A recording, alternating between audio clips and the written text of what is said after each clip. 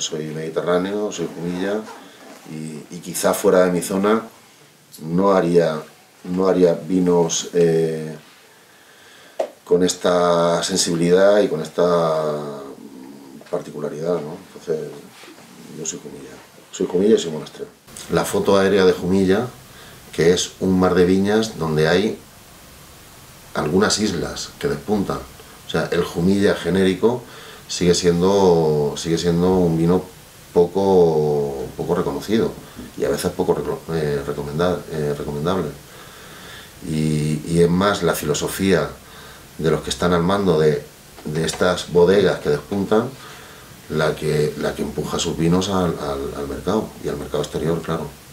Actualmente se habla de bodegas, porque la tipicidad, la división de suelos y de parajes en Jumilla está aún por, hacer. Y mientras tanto se pierde un, un tiempo eh, precioso. O sea, hace 15 años todas las bodegas querían ser Casa de la Ermita e intentaban copiar el perfil del vino que en ese momento más se vendía. Ahora todo el mundo quiere ser Juan Gil. Intentan copiar el perfil del vino que más se vende.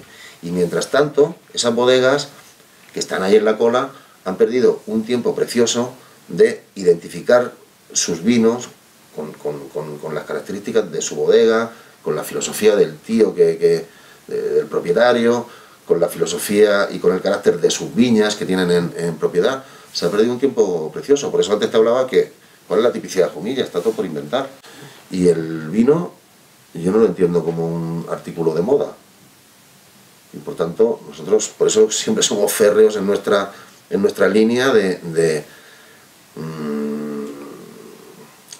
monastrel, secano, eh, respetuosos, con naturalidad, y realmente in vino veritas, o sea, en el vino está la verdad y en el descorche eh, está la verdad, y es el vino el que tiene que hablar, y no tanto el elaborador. El elaborador lo que tiene que hacer es respeto hacia esa agricultura, hacia esos suelos, hacia mm, eh, la conservación de la biodiversidad y del entorno donde está el, viñedo y, y plasmarlo en el vino.